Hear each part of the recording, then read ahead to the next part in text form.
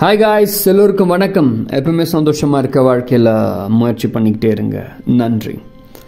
இன்னைக்கு நம்ம பார்க்க போகிற ஒரு விஷயம் என்னென்னு பார்த்தீங்கன்னா ஆஞ்ஞை சக்கரம் அதாவது ஆக்கினை சக்கரம். அதாவது சிக்ஸ்த்து சக்கரா.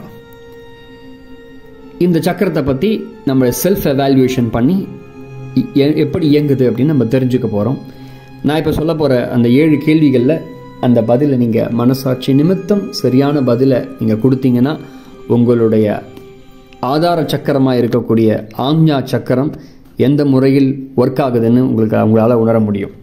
ஸோ ஃபஸ்ட் இந்த சக்கரம் எதோட தொடர்பு கொண்டு இருக்கிறதுனா ஸ்பேஸ் ஸ்பேஸோடு அது தொடர்பு கொண்டு இருக்கும் அடுத்தது இன்ட்யூஷன் உள்ளுணர்வு.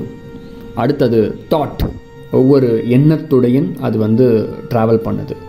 அண்ட் அதிகம் என்னென்னா அதுக்கு பிறகு அறிவு இன்டலெக்சுவல் இதோட ஆஞ்ஞா சக்கரம் வந்து பயணம் பண்ணுது. ஸோ நம்ம பார்க்க போகிறது முதல் கேள்வி என்னன்னு பார்த்தீங்கன்னா இந்த இந்த கேள்விக்கான பதிலை நீங்கள் தான் சொல்லணும். எல்லோரும் கமெண்ட் பண்ணுங்கள் முதல் கேள்வி. உங்களை சுற்றிலும் ஏதோ ஏதேனும் சூட்சும உலக தரிசனம் நிகழ்ந்திருக்கிறதா? ஒரு வித்தியாசமான ஒரு தரிசனத்தை உங்களால் பார்க்க முடியுதா? அப்படின்னு ஒரு கேள்வி. இதுக்கான பதில் நீங்கள் சொல்லணும். ஒருபோதும் இல்லை அரிதாக அடிக்கடி எப்பொழுதும். அண்ட் செகண்ட் ஒன் தெளிவாக நினைவில் நிற்கிற கனவுகளை நீங்கள் காண்கிறீர்களா? ஆக்சுவலி தூங்குறீங்கன்னு மறந்துடும் கனவு ஆனால் உங்களுக்கு ஞாபகம் இருக்கா அப்படின்ற கேள்வி. ஒருபோதும் இல்லை அரிதாக அடிக்கடி எப்பொழுதும் ஞாபகம் இருக்குது அப்படின்ற ஒரு விஷயம். அண்ட் தேர்ட் ஒன் உங்களுக்கு மன தரிசனம் அனுபவம் உண்டா? அதாவது தீர்க்கமான உள்ளுணர்வு உண்டாவுதல் பிரகாசமான ஒளியை பார்க்கிறது வருங்காலத்தில் நடப்பவற்றை பார்த்தல்.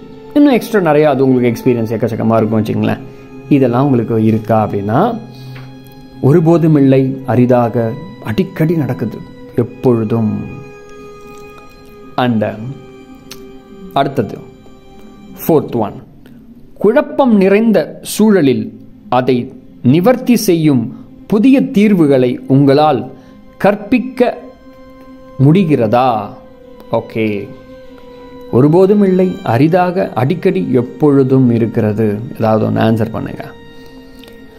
அண்ட் ஃபிஃப்த் புராண கால கூற்றுகளை உங்கள் வாழ்வில் உணர் உணர்ந்திருக்கிறீர்களா? அதுக்கான பதில் நீங்கள் சொல்லணும்.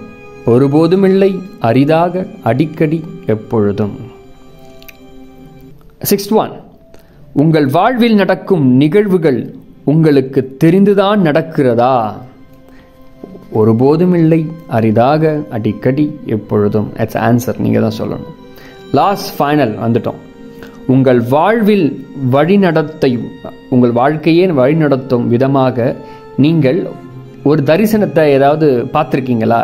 என் லைஃப் இப்படி தான் போயிட்டுருக்கு எனக்கு எல்லாமே தெரியும். எனக்கு தெரிஞ்சு தான் எல்லாம் நடந்துட்டுருக்கு அப்படின்ற மாதிரி நீங்கள் பார்த்துருக்கீங்களா? எப்பொழுதும் அடிக்கடி அரிதாக ஒருபோதும் இல்லை. இதோடைய ஆன்சரை நீங்கள் பர்ஃபெக்டாக கமெண்ட் பண்ணுங்கள் இல்லை நோட் பண்ணி வச்சுக்கோங்க நீங்களே. ஒரு ஒரு பேப்பரில் நோட் பண்ணி வச்சுக்கோங்க. அடுத்த பதிவு வரக்கூடிய சகஸ்காரம். இந்த சகஸ்காரத்தில் உங்களுக்கான ஆன்சர் பர்ஃபெக்டாக இருக்கும். இதை எடுத்து எவாலுவேஷன் போட்டு ஒரு கணக்கு போட்டிங்க அப்படின்னா உங்களுடைய சக்கரம் எந்த வீக்காக இருக்கா ஸ்ட்ராங்காக இருக்கா எல்லாத்தையும் நீங்கள் ஹண்ட்ரட் பர்சன்டேஜ் தெரிஞ்சுக்கலாம். இது அடிக்கடி என்ன பண்ணணும்னா மந்த்லி ஒன் டைம் இந்த வேல்யூவேஷனை நீங்கள் பண்ணணும். மந்த்லி ஒன் டைம் நீங்களே செல்ஃபாக பண்ணிக்கோங்க. யார்கிட்டையும் எங்கே போய் நம்ம கேட்க வேண்டிய அவசியமே இல்லை.